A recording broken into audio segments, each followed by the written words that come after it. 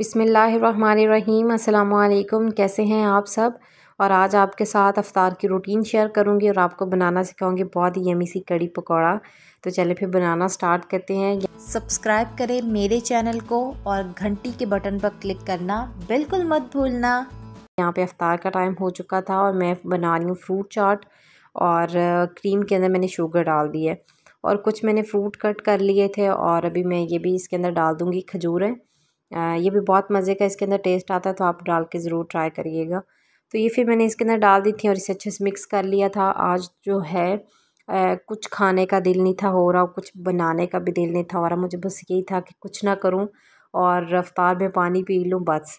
पर फिर मैंने कहा कि नहीं कुछ ना कुछ खाना चाहिए। सारा दिन रोज़ा होता है और अफ्तार के टाइम कम से कम तुम फ्रूट चाट बना लो। फिर जब मैंने फ्रूट चाट बनाई तो फिर मेरा दिल करे कि चलो ये भी बना लेती हूँ वो भी बना लेती हूँ। पर चलो खैर, फिर मैंने अपने आलू के पकौड़े बनाए जो कि मुझे बहुत ज़्यादा पसंद है।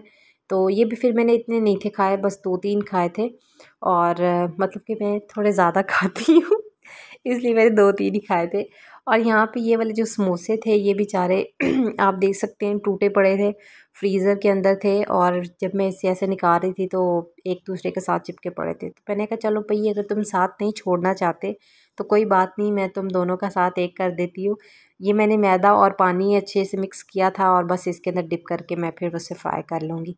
और ये भी हमारे पकौड़े फ्राई हो रहे हैं तो ये बस अवतार का टेबल मैंने लगा दी थी सारी चीज़ें। और ये हमारे पकौड़े और समोसे और मैंने फ्रूट भी कट कर लिया था और ये है हमारी फ्रूट चाट और, बस, और साथ में मिल्क वाला रोज़ा भी बनाया था। तो ये देखें मौसम बहुत अच्छा हुआ पड़ा है अफ्तारी का टाइम हो चुका था। जैसा कि मैंने आपको बताया था, बिल्कुल दिन नहीं है तो आप देख सकते हो कितनी कितनी सी मैंने चीज़ें खाई हैं। मतलब मैंने नहीं, मेरे भाई भी थे। और ये फिर मैंने बर्तन वॉश कर लिए उसके बाद और किचन साफ़ कर दिया। फिर मैंने कड़ी पकौड़ा बनाया, टमाटर चाहिए, प्याज चाहिए और आलू। और यहाँ पे जो है कम से कम तीन पाव थी लस्सी लस्सी सॉरी कह रही हूँ। तीन पाव थी दही और उसके अंदर मैंने फ़ाइव टेबल स्पून डाल दिया था बेसन। और यहाँ पे प्याज और आलू दोनों को मैं फ्राई कर रही हूँ ऑयल के अंदर और ये थोड़ा सा प्याज ब्राउन हो चुका था। फिर मैंने इसके अंदर टमाटर और हरी मिर्चियाँ डाल दी। और बनाना मैंने कुछ और था मतलब खाने में मैंने और भाई ने डिसाइड किया था कि हम आलू चिकन बनाएँगे, पर फिर जब मैंने फ्रिज के अंदर दही देखा तो मैंने कहा कि चलो आज कड़ी बनाएँ, क्योंकि मैं गई थी खाला के पास तो जब मैं वापस आई तो फिर मैंने कहा कि चलो यही बना लेते हैं, दही भी पड़ा हुआ है तो चलो आज कड़ी बनेगी।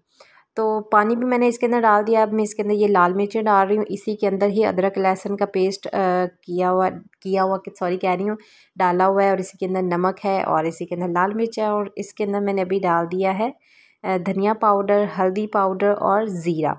और ये चीज़ें डालने के बाद इसे हम अच्छे से मिक्स करेंगे और सॉरी इसके अंदर कुटी हुई लाल मिर्च भी डालनी है। थोड़ा सा इसके अंदर पानी डाल देंगे और मसाले को हम अच्छे से भूनेंगे और अभी मैं इसके अंदर डाल दूँगी, जो हमने बना के रखा हुआ था दही और बेसन का क्या लस्सी कह सकते हैं क्या? अब मैं इसको कहूँ मुझे कुछ नहीं समझ आ रही। आज मैंने कहा, चलो बोल दो, जो तुम्हारे मुँह में आई जा रहा है। फिर आधा कप आधा कप, सॉरी, आधा जग मैंने इसके अंदर पानी भी डाल दिया था और बस ऐसे मैंने पकने के लिए रख दिया मैं जो बोल रही हूँ, प्लीज़ सुनते जाए क्योंकि आज भी रोज़ा है और अभी वीडियो एडिट कर रही हूँ। तो चलो कोई नहीं। इसे हमने पकने के रख दिया है तो अभी मैं पकौड़े बना रही हूँ और आलू हैं, प्याज हैं और हरी मिर्चें, हरा धनिया।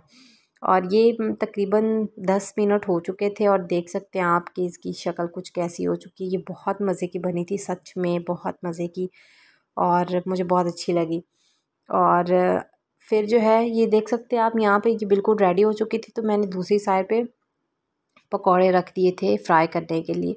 तो ये यहाँ पे पकौड़े भी बन रहे हैं और फिर मैंने इसके अंदर डाल दिए पकौड़े गरम गरम और गरम गरम कड़ी थी। मैं, मुझे आजकल ना पकौड़े पसंद हैं वो सॉफ्ट वाले, कि कड़ी के अंदर जाएँ और सॉफ्ट से हो जाए, वो वाले। बस फिर मैंने इसके अंदर ये डाल दिया और बताएँ कि आपका रमज़ान कैसा गुजर रहा है, ईद की शॉपिंग कर ली है या करने लगे हैं, क्या चल रहा है? और मेरा तो अलहमदिल्ला अच्छा गुजर रहा है रमज़ान और बस कभी थोड़ी ऊंच नीच हो जाती है कि कुछ खाने का दिल नहीं कर रहा होता या फिर ये दिल कर रहा था कि आज कुछ काम ही ना किया जाए। बस बिस्तर पे लेटे रहो, नमाज़ पढ़ लो दैट्स इट और अभी जो है, मैंने इसके अंदर डालना है पकौड़े वाला ऑयल कि थोड़ा सा अच्छा ऊपर से लगे और बस फिर हमारी रेसिपी रेडी हो चुकी है। मैंने इसके साथ चावल बॉईल किए थे और मैंने फिर वो खाए, मुझे बहुत मज़े के लगे। तो आपने ये रेसिपी ज़रूर ट्राई करनी है। बस फिर थोड़ा धनिया डाल दिया और आप भी कमेंट करके बताना कि आपको ये रेसिपी कैसी लगी। अगर अभी तक आपने चैनल नहीं सब्सक्राइब किया तो जल्दी से सब्सक्राइब कर लो और अपना बहुत सारा ख्याल रखिएगा। लाफिज बाय बाय